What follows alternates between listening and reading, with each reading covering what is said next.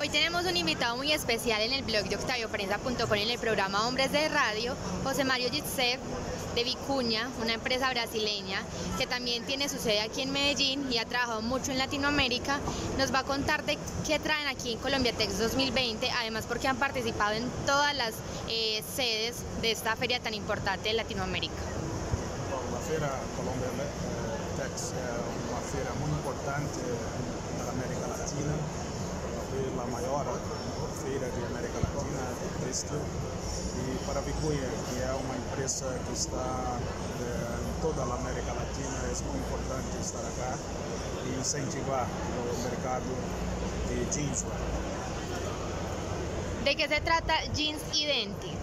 Esa identidad con los jeans para eh, las personas que están interesadas. Jeans, jeans Identity é uma proposta de para que a Vicunha consiga, de alguma forma, é, levar para cada indivíduo no mundo uma identidade jeans. Então, a, a expressão jeans significa isso, para que cada pessoa pode ter a sua identidade dentro do jeans. Además porque Vicuña también trabaja en una onda sostenible para también conservar el agua, utilizar menos eh, agua para adecuar los jeans. Sim, sim. Bom, Vicunha é uma empresa de mais de 50 anos e já vem trabalhando com sustentabilidade há, provavelmente desde o início de operação.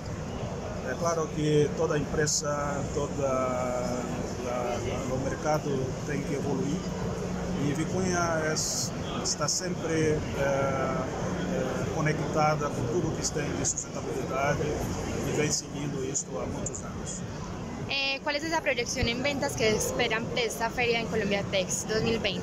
La proyección en ventas. Bom, é, na verdade nós temos um pressuposto que é global.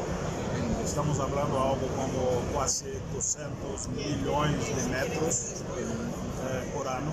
É, muita metragem de, de telas. e isso está espalhado pela América Latina e uns 10% em Europa. Bueno, ¿y cómo los ha tratado Medellín en esta feria? Sim, a cidade é encantadora, o povo, os paisas são encantadores. É, nos sentimos em casa.